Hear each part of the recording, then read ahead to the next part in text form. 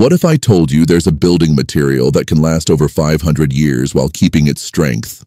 That's me, brick. I'm made from natural clay that's shaped and fired at high temperatures.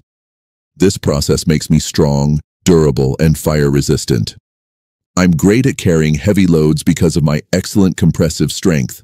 I keep buildings stable and safe, especially in walls and facades. Unlike my friend steel, I don't bend or flex, but I provide stable, long-lasting support. The historic Alhambra in Spain was built with me.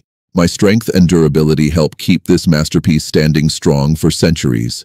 Think of me as the solid, protective skin of a building, holding everything together and keeping it safe. I build strong, energy-efficient, and beautiful structures. Like and subscribe to learn more about the materials shaping our world.